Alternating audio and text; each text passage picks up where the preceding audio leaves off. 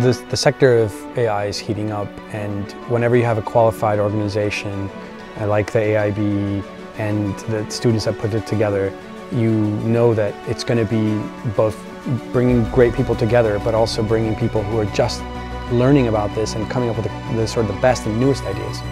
uh, onto, onto display. And, and, some of the some people you meet here in, in the exhibition center upstairs are going to be some of the latest and most cutting edge stuff you see. Well, technology is going to be one of the key pillars that everyone needs to understand um, in the future, right? So if you're a student and you want to learn more about the art of the possible, definitely come here to understand what's the pace at which things are changing and how can you find a role in that uh, change process uh, and for professionals to uh, sort of sense check everything they're doing um, and figure out what they can bring out of entrepreneurs into their uh, day-to-day -day jobs. So AIBE is uh, an event that I've enjoyed and it's been one where I've met a lot of great people. It's well attended